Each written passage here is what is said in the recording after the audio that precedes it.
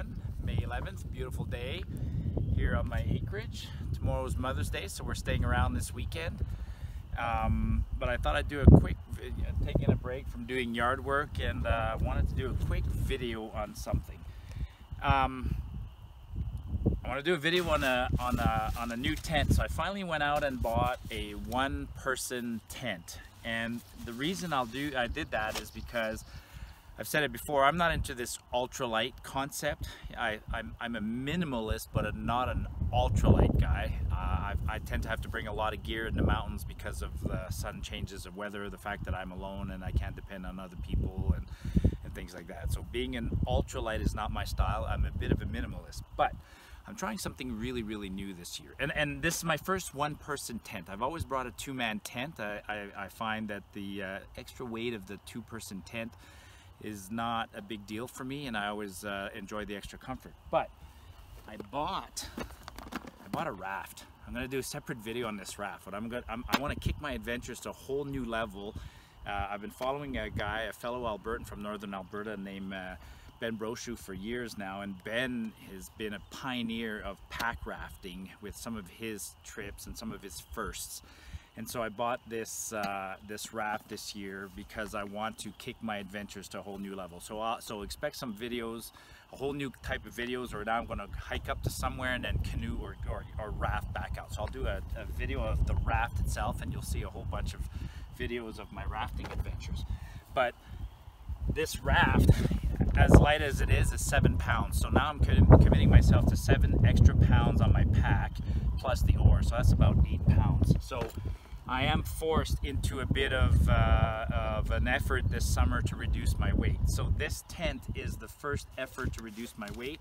This one person tent shaves a good two pounds off my other tent. So the, the uh, right, so this is, this is, the tent is Marmot. It's this tungsten uh, ultralight one person. And uh, a lot of companies are using the UL designation as meaning very light and they achieve it uh, we'll see how they achieve this but it claims right here that it's two pounds nine ounces. So let's see how close uh, that is to the truth.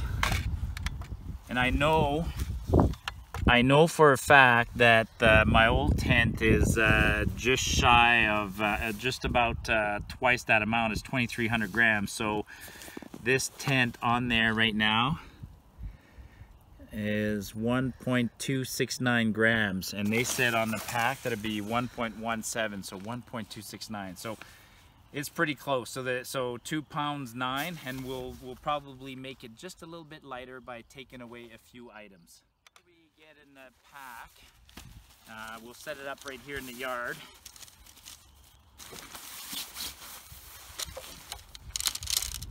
Get the poles and uh, it comes with,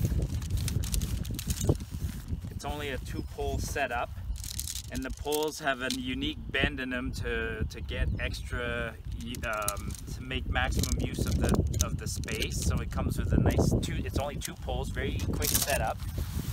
Uh, the main tent, the tarp that goes over and a bag with some, I imagine, Wow, miniature little tent pegs. And uh, some uh, rope for uh, to make some guys and some uh, patching materials. All right, so I'm gonna set it up right here uh, in my backyard. Step one,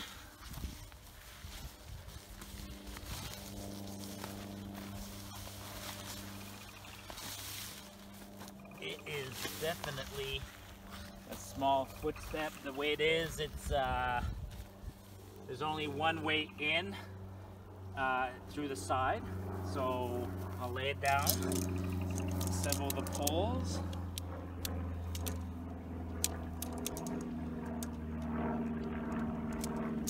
The ends of the poles are color coordinated. So on most of the tents that I've seen recently, uh, the red tabs are the front. And then this one, one side of the poles is gray and one side of the pole is green. So let's see how this is. So this is a yellow or green tab. This is a yellow tab and gray. So I'm gonna put yellow here. Now, should probably be anchor to simplify, but there's one, even if it falls. And the second one there. Ha! Did I do it? Yeah, I did it right. Okay, gray. And then and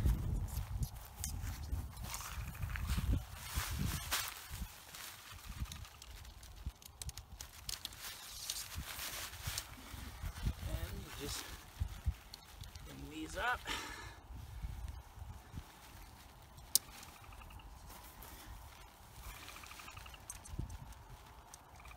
Very few tents come up with anything incredibly unique anymore. I mean, it's. I, I think we've we've um, we've come close to achieving the state of the art in uh, in tent construction now.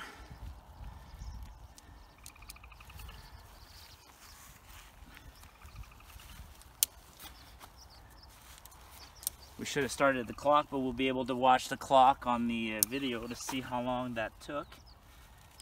And uh, okay, so that's step one. Okay. Now uh, I, found this on the ground. Luckily, I don't I don't want to lose this. I, that's a nice feature. Not every manufacturer does this. I used to I carry one that I found myself and for my other tents because North Face didn't provide one in my North Face tent, but Marmot provides a little tube like this. And people say, "What's the tube for?" Well, if one of these bungees breaks, you can actually um, slip two ends of a pole into this tube and if you had tape you can tape it but but this will this substitutes a joint. This becomes a repair joint. So looking around the tent um, it's pretty straightforward. Holy smokes Ray stand there. Look at how narrow it is. It's barely it's barely wider than me. So it is a one-person tent but it looks like it's high I can see that it achieves its maximum weight reduction by using a screen everywhere. And one thing I like about a tent like this is it is freestanding. So, you know, when I'm done at the end and I'm cleaning them out after I, at the end of uh, every day in the morning when I'm cleaning out my tent, it's nice to be able to uh, pick it up and empty the, the leaves and the pine needles out of it. So it is a freestanding tent, which is nice. So uh, Marmot provided six little tent pegs. I have these other tent pegs that I had bought uh, last year and uh, a whole pile of them. So I'm going to replace the six that came with the Marmot tent with these six that I had bought online. The reason I prefer I'm going to use these ones is that these and, and this is 46 grams versus 72 so I'm adding 30 grams which is like you know extremely negligible but these are these are three ways and they're a little bit longer but more important they're red. And uh, it doesn't it doesn't it doesn't look like much but red is a lot easier to find on the grass than silver. And when you're uh, picking up at the end and silver is mixed if you, especially if you're in little pebbles and rocks and whatnot silver is a really lousy color for tent pegs you know, the only color that'd be worse than that, I think, would be green or black. So red is fantastic. So I'm going to put up the tent using these pegs. All right, so uh, same thing. There should be a color coordinated. So there are, there are, uh, there is a red tab on the front. Take advantage of the wind.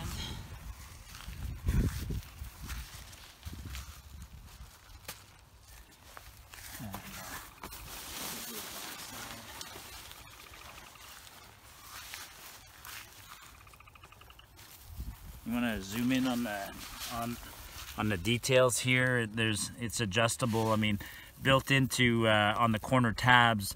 One for the fly, one for the tent peg, and uh, the fly is uh, color coordinated red and red and then this allows to increase the tension but as a starter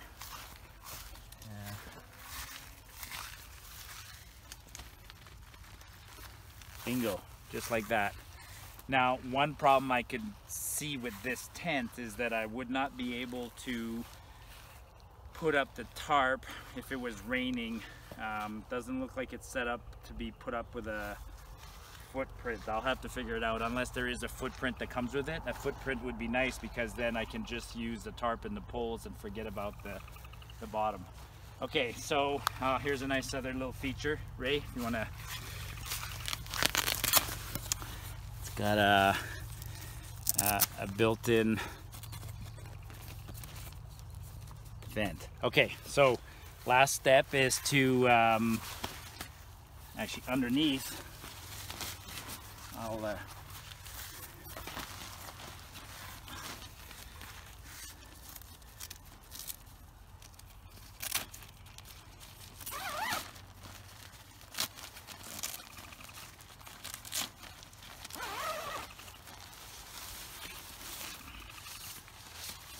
does have Velcro. So if you look here, it's got Velcro and you can secure it to the poles. Now, I'll, uh, I often don't like to attach it to the poles because I like to tighten my guys wires, cable lines, and and not have the tarp touch as much of the poles as possible. But I need to do that. That's the next thing I need to do is I need to cut the um, cut the rope but I'll do that in the field. I'm not sure I'm gonna you know I have other rope that I bring. I don't have it with me but I have um, paracord that I bring when hiking so each situation is unique. Um, well let's let's let's stake it down see what it looks like stake down a little bit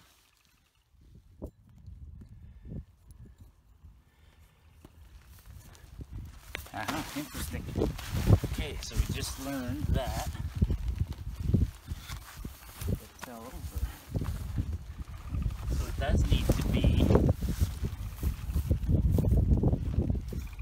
So it's a windy day today, so I need to stake it down.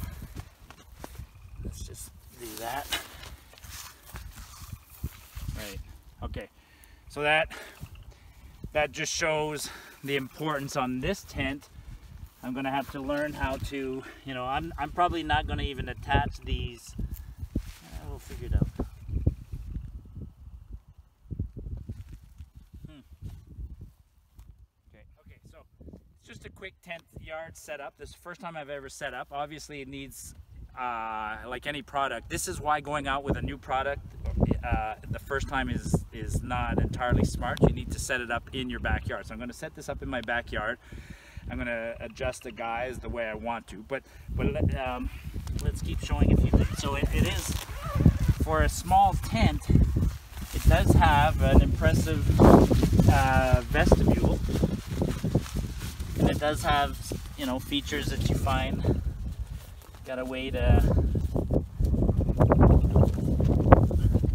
Okay, so then one way in.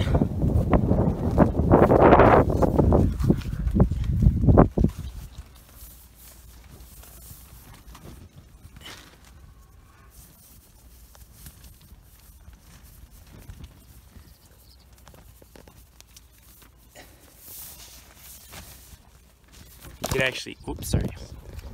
You could actually roll this fly up and attach it over there. And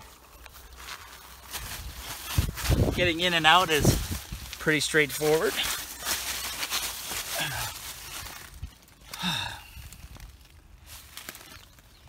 It's actually not too bad. I mean, it's, uh, it feels almost roomier than my North Face. The reason is, is because I can, I can stand up nicely. In my North Face, it had a higher end and then it went all the way down. So, a lot, but this one feels like I could stand up. I mean, if I was sitting here playing cards with somebody else in my tent, boiling water just outside.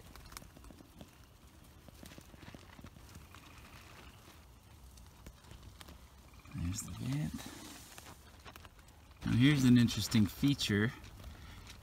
The reason this is a slightly darker color is because you can take your um, your headlamp or an LED light, whatever you have, and you can turn it on in there, like such. And actually I can put it on the high setting. And apparently it gives you a nice diffused light at night. Interesting idea.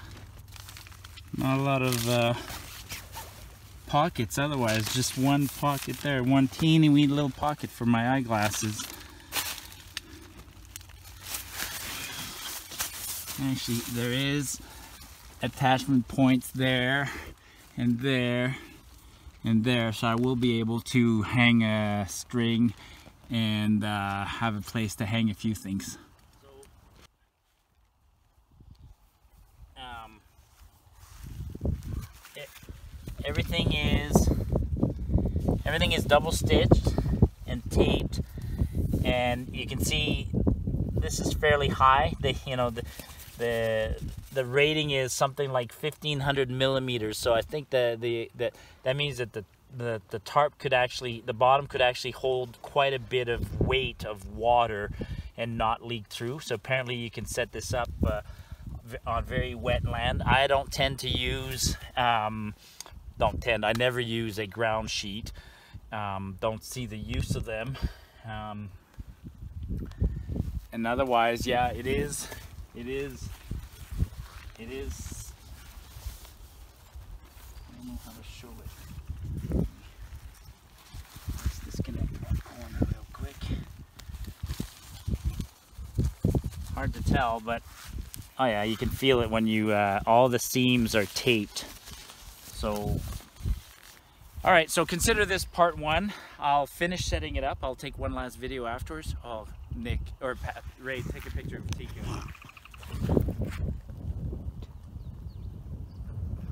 Dog. I'll, uh, I'll finish the setup and then um, this will be part one. Part two will be when I use this in the coming weeks on the field trip. I'll uh, give a final review of this, but uh, so far, you know, this is under $300 Canadian, so very inexpensive for a one-man tent that had great reviews online. Just uh, you can tell that the wind is just pushing on it, so without the guys, it's taking a lot of force.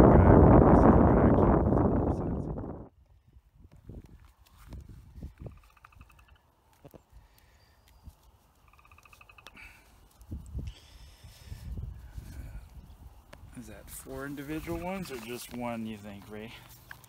I'm betting on just one. I'm betting on just one. So let's cut it into four. So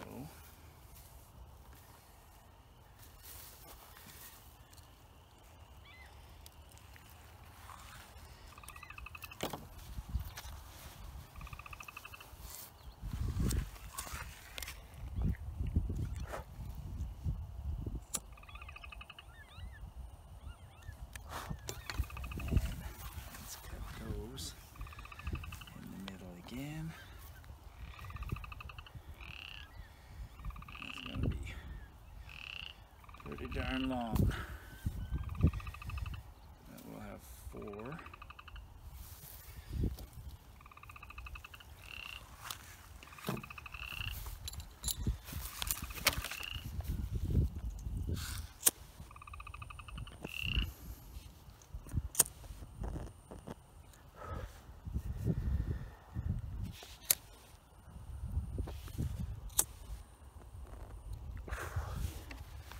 Always have a lighter in your pockets when you're outdoors, even on your acreage.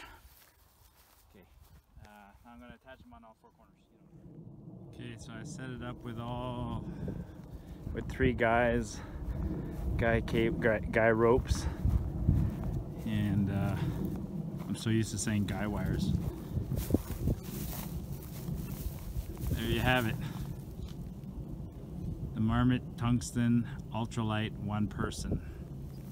It's a windy day right now and it's uh, stable and you know if it was raining the water is definitely rolling off this tarp that's one thing I uh, it's not gonna It's not gonna pool anywhere. There's no chance it's gonna pool. It's not even gonna pool here or anywhere like that. It's gonna, I have a feeling this tent is gonna surprise me and I'm gonna be pleasantly pleased. It's, uh, it's a nice tent. apart, see how quickly we can do that.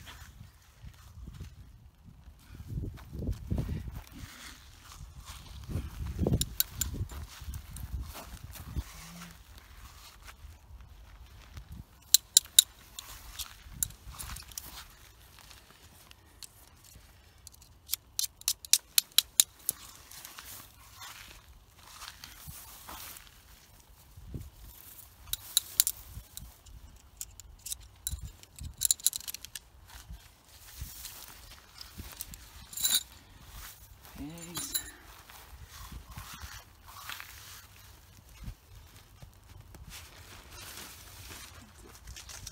Attach the Velcro here.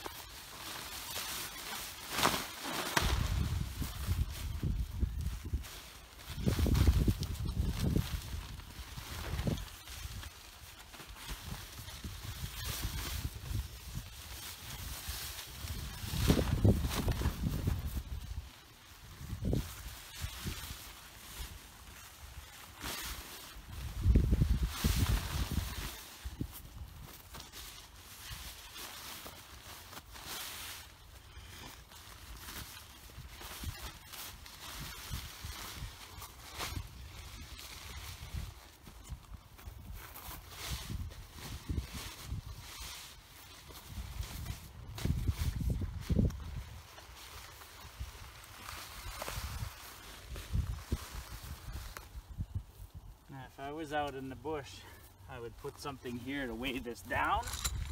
Let's just leave that for a second.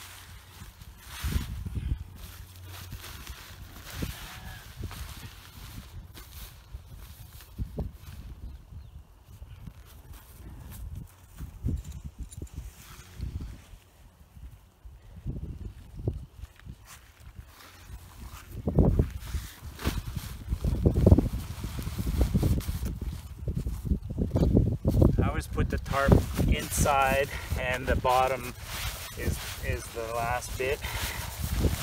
There. I was in a hurry.